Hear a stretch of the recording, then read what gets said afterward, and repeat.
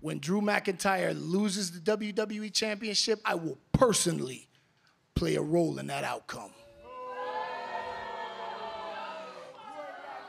It took Lashley 13 years. And after 13 years, Lashley has a WWE Championship opportunity because of me. 13 years. 13 years. Whoop de doo. It took me 19 years to get my first WWE Championship opportunity. I don't need anybody thinking for me. I don't need anybody talking for me. And I sure as hell don't want someone like you kissing my ass.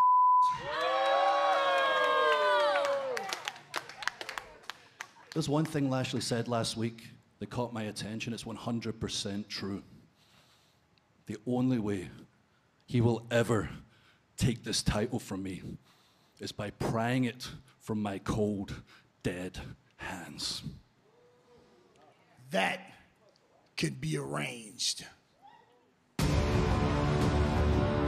Oh, the tension building in the VIP lounge, and here comes the almighty Is- Bobby Lashley. Is that arrangement about to be made right now? The future WWE champion, the almighty Lashley.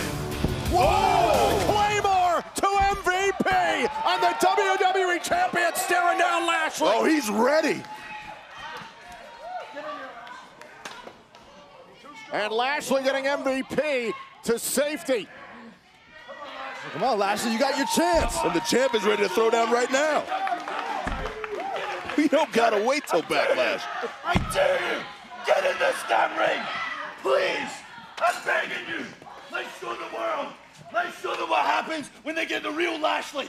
Fight me, damn it! McIntyre standing tall in the face of MVP and Lashley's trap.